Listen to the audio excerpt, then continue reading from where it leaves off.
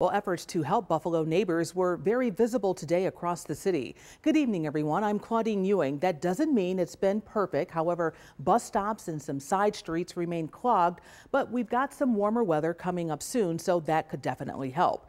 Channel 2's Liz Lewin has more for us live on Moselle Street in the city tonight. Liz. Hi, yeah, good evening, Claudine. Snow, snow, and more snow. Just take a look. Photojournalist Ryan Kohler is going to pan. You're going to see city plows still clearing up here almost as the sun's starting to set. Certain areas throughout the city got a lot of attention by plows because they needed it. I spoke to the commissioner, Mike Finn, earlier, who says his team has been working around the clock as they're continuing to clear as much snow as possible from residential streets. As you mentioned, three back to back storms in a short window has made their jobs challenging, he says. Throughout the day, members of our team at 2 saw several cleanup efforts over on Humboldt Parkway. Then we headed over to Eugene Avenue in North Buffalo.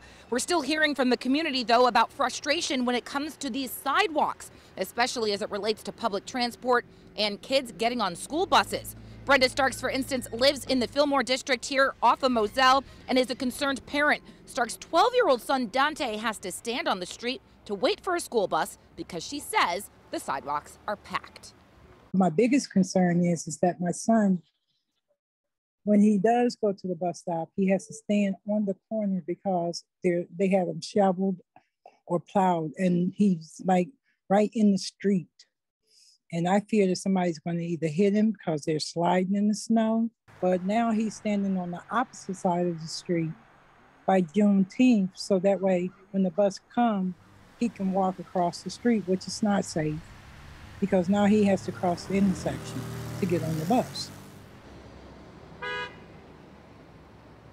Yeah, of course, safety is top of mind for a lot of families. Commissioner Finn says it's important business and property owners pay attention to their sidewalks and bus stops. Now, the city is not responsible for clearing sidewalks that fall under private property. So let's break that down. That means if you're waiting at a bus stop, be it for an NFTA bus or a school bus, that sidewalk is the responsibility of the abutting property owner to clear. If that's not being done, you need to call 311 and report it immediately. Now, the city says several steps can be taken, Claudine, when it comes to maintaining these sidewalks. Property owners, as I just mentioned, you want to keep in mind that if you don't maintain your sidewalk, you could be subject to an ordinance violation. Now, if you can't maintain the sidewalk, the city says give them a call, they'll do it, and they'll just bill you for the work. Here on Moselle Street in Buffalo, Liz Lewin, Channel 2 News.